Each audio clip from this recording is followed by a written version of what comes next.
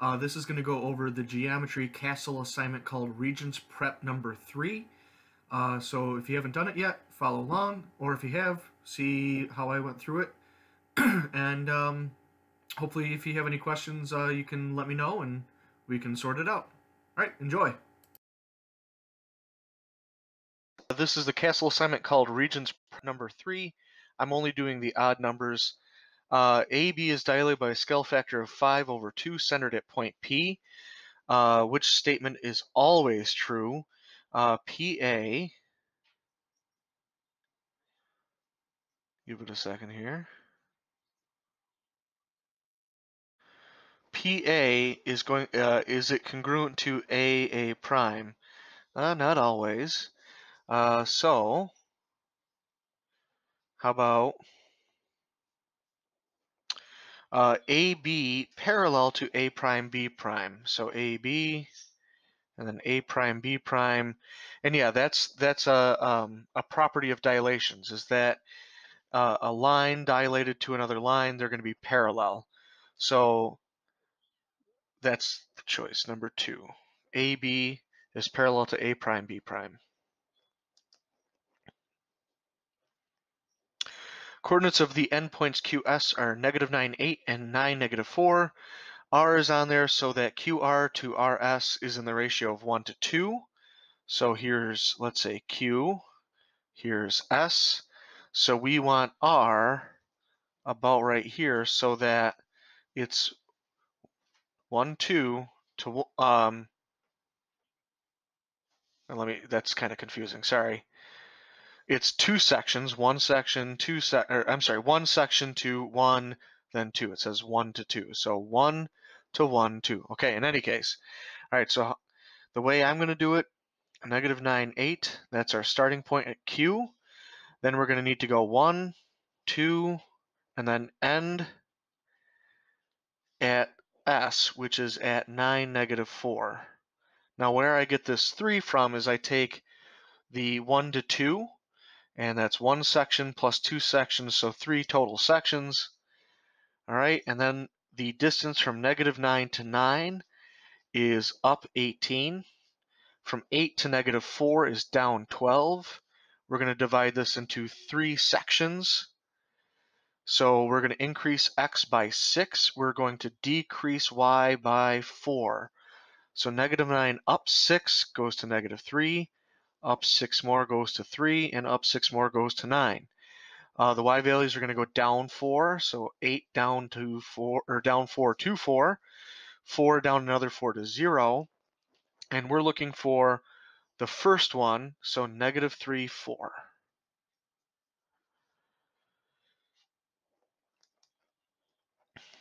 Question five.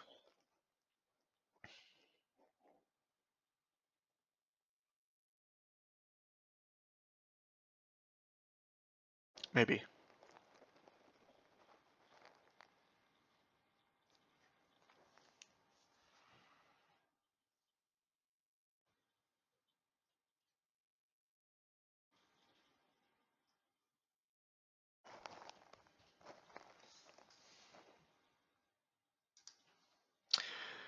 All right, question five. It says uh, we have got triangle ACD. DB is a median to AC, and AB is congruent to DB. So let's mark this up. So first it says AB and DB are the same. Uh, it says that DB is a median. So what a median does is it connects um, this vertex D to the midpoint. So B is the midpoint of AC, which then also means that A to B is the same length as B to C. And if you look at that, this has a little tick mark, so this gets a tick mark. Notice that these two, all, so they're all the same. Those three are all the same. So if the measure of angle DAB is 32, then what is BDC? So we're looking for this one here. All right, now uh, we're going to fill in the, so if, if this is 32, I can say that this is 32 because this is an isosceles triangle. Those two sides are the same, which means that these two angles are going to be the same, which means that I can find this one here by doing 32 plus 32, that's 64, and then doing 180 minus 64. Well, that's 116, which means that I can actually find this one because that's a linear pair. So 116 and something add up to 180. So if I subtract, hey, 64. So this has got to be 64. Now, if you take a look, this right here is an isosceles triangle because these two sides are the same, which means these two angles are the same. And one angle is taken up by 64. So what that means is that the other two are taken up by 116 but divided by 2. And that turns out to be 58 degrees.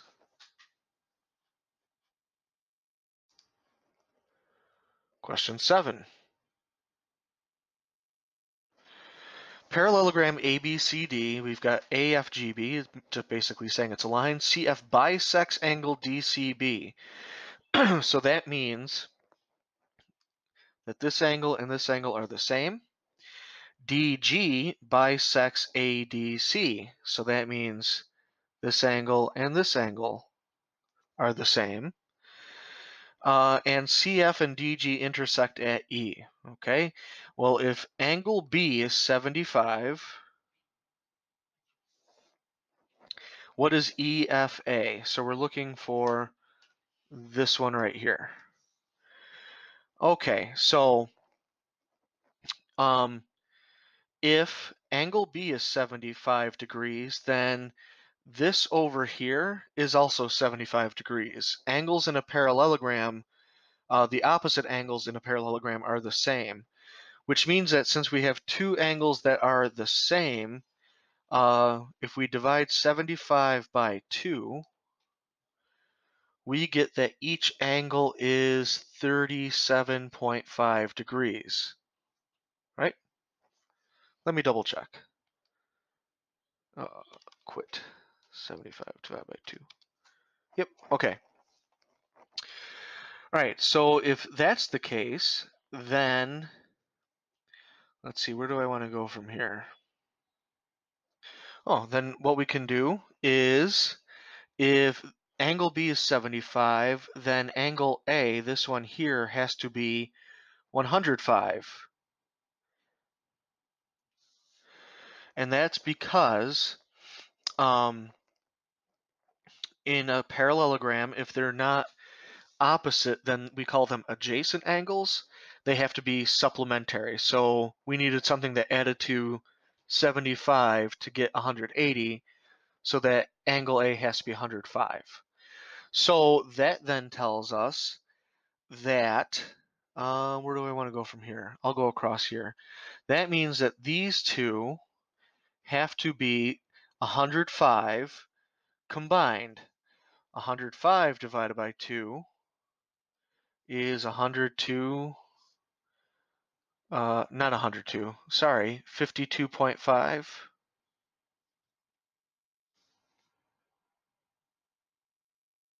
Yeah, it's kind of messy, but all right. Um, so then that means let's let's take a look at this triangle. All right, so now how am I going to attack the rest here? So um, I know these two. Okay, they're 37.5 degrees, and I know these two, they are 52.5 degrees. All right, uh, which means that we can then find angle E. Um, I should, I, uh, ang uh, this angle right here, sorry, not just angle E, uh, by taking 37.5 plus 52.5, and I get 90, which means that this is 90, which means that all of these are 90. I know you can't really read that. Um, and then if you another thing to notice is that since this is a parallelogram, this side and this side are parallel, which means that if we follow this, it makes a Z shape, which means that this is the same as this up here. So we have 90, we have a 37.5, which gives us 127.5 degrees, which means that this angle here is 180 minus 127.5.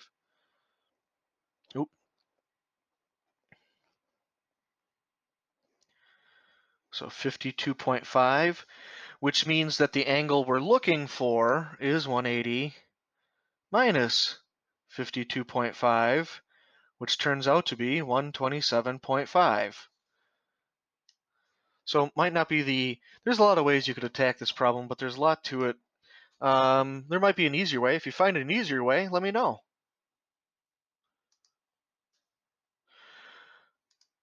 All right. Triangles ABC and RST are graphed on the set of axes below. Which sequence of rigid motions will prove that they are congruent? Um, it's going to be number two. So a rotation of 180 degrees at 1, 0, um, so one, oh, sorry, wrong. There's one zero.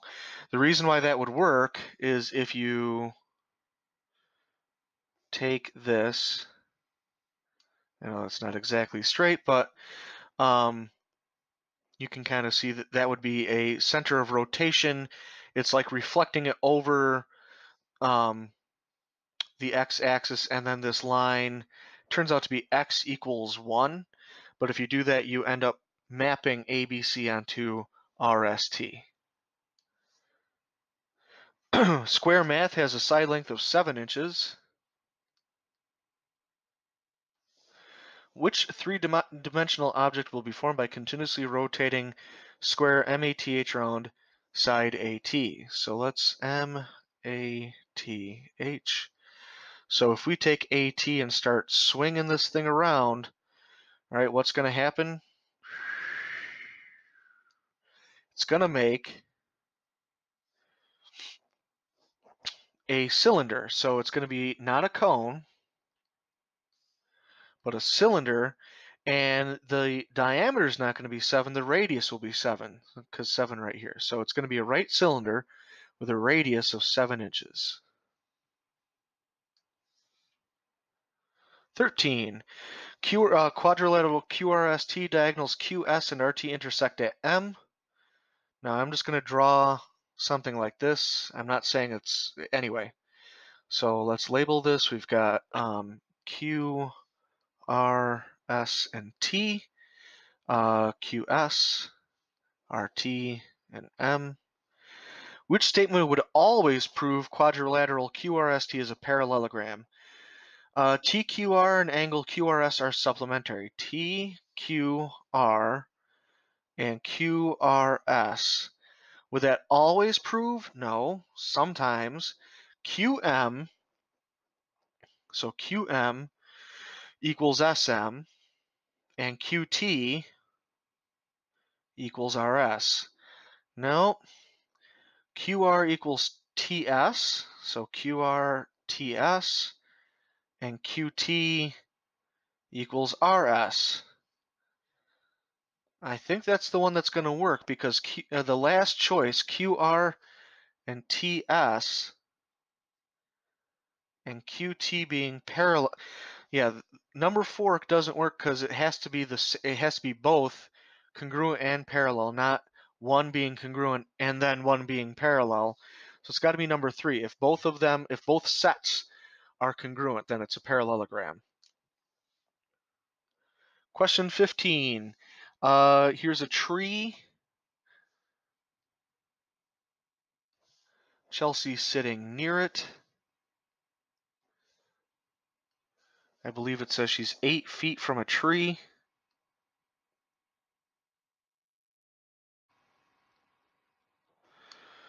Um, to the top uh, angle of elevation is 36 degrees. Um, if her line of sight starts 1.5 feet above the ground, so from here to here, 1.5 feet. Um, how tall is the tree to the nearest foot? Okay, so uh, if you're in my classes, we didn't get to trigonometry, so this is when you might want to skip or just follow along and get the answer. And then, um, anyway, we didn't get to trigonometry.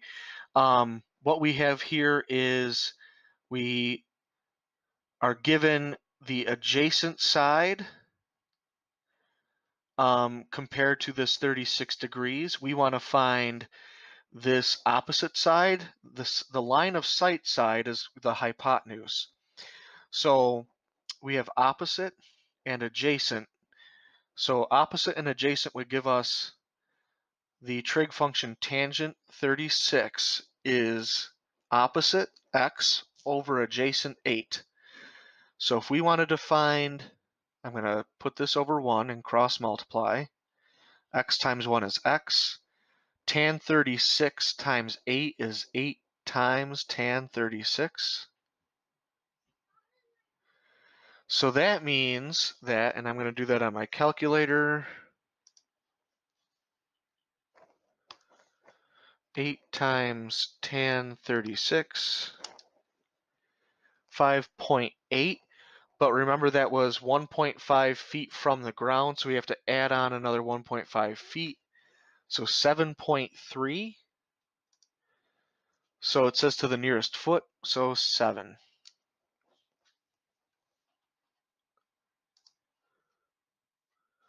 Seventeen. Countertop for a kitchen is modeled with a dimension shown below. 18 by 21 inch rectangle will be removed, excuse me, removed for the installation of the sink. What is the area of the top of the installed countertop to the nearest square foot? So what I would do is change um, either the feet into inches eh, or the inches into feet. Now, because it says to the nearest square foot, I might change the inches to feet. So 18 inches turns out to be, that would be one full foot and then six inches, so 1.5 feet.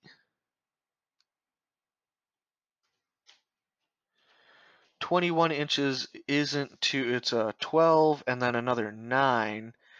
Nine is nine twelfths of a foot, which is 3 fourths. So 1.75 feet.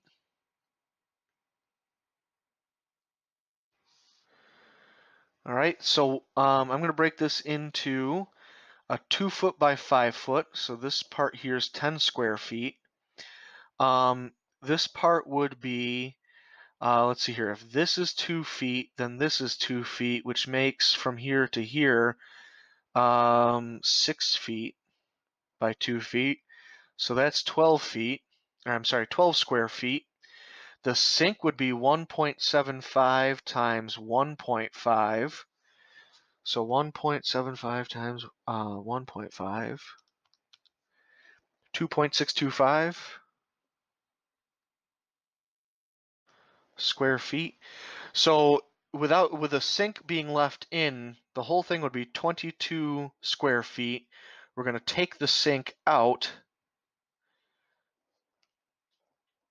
So 22 minus 2.625, 19.375. So it says to the nearest square foot, so 19 square feet.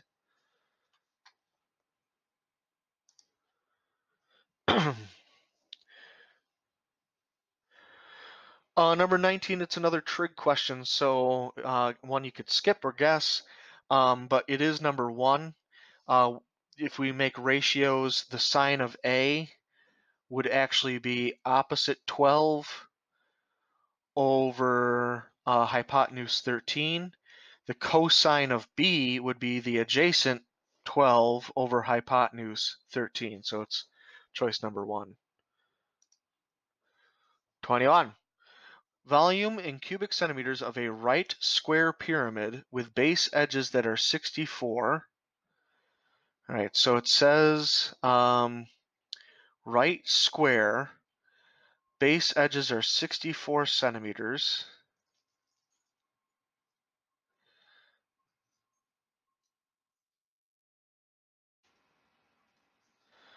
All right. And a slant height of 40. Now, slant height means it comes down like this. That's the slant height of 40 centimeters. We want the um, volume, I believe. Yeah. So to do volume, we actually need the height of the pyramid, which comes down and actually hits the base at a 90 degree angle. So what I'm going to do is take a cross section of this. So we have a bottom that ha uh, it's 64. Uh, the slant height is 40, and we need this. Right, so I'm going to actually change this 64 to a 32 and a 32. I'm going to use the Pythagorean theorem to find this side. Uh, so that is going to be um, the hypotenuse is 40. So 40 squared minus 32 squared. I get uh, the square root of 576, 24. So the height of this pyramid is 24. So that means that if I take the area of the base, which would be 64 times 64, times the height, so times 24, and then times a third, because it's a pyramid, I'll get the volume. So 64 times 64 times 24 divided by 3. I got 32,768. Choice number three.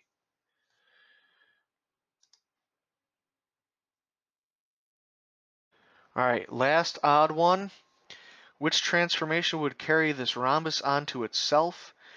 Um, 180 degree rotation counterclockwise about the origin. That would make it um, look something like this it wouldn't exactly look like uh, it's not exactly onto itself, so it's not number one. The line half x plus 1 um, is this line. Um, maybe. Uh, reflection over the line y equals 0. Now y equals 0 is actually the x-axis. That wouldn't map onto itself. Uh, and then the line x equals 0 is actually the y-axis. Uh, I think that's the one right there. Uh, if you flip it over on that line, it's onto itself. So number four. All right, hopefully this is a help. Let me know if you have any questions, and hopefully we'll see you soon.